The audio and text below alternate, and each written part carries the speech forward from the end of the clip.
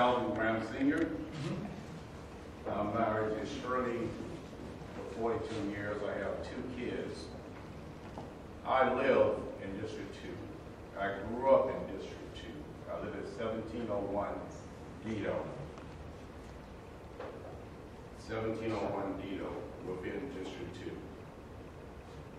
2. Valdosta is my home.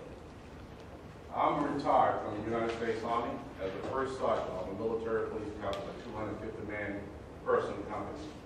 I went on to my second career with the Department of Defense. I'm retired from it. So now I'm applying for a job as city council.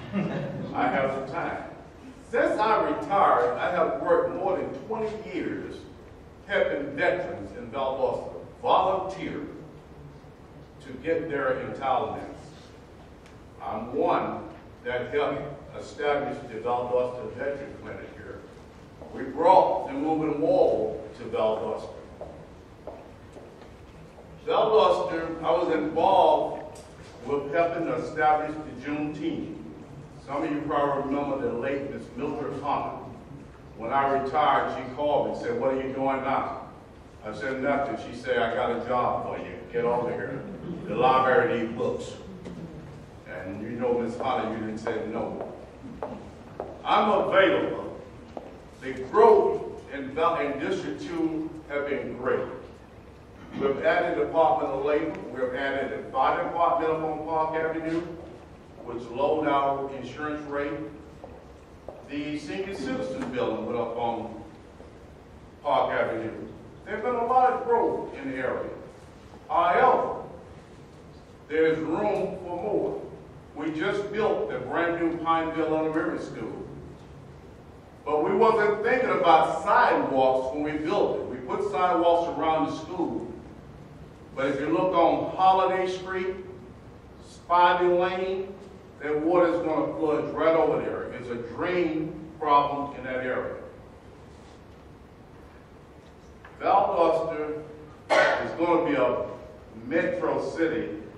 And the other problem we had was J.L. Newbern, when we built it, we didn't look a little bit further for putting that sidewalk from Forest Street. We need to look at a project completely before we just put one out. If you elect me, I would bring the experience of two careers to the table. Believing in starting a problem, a, a project, and ending the project.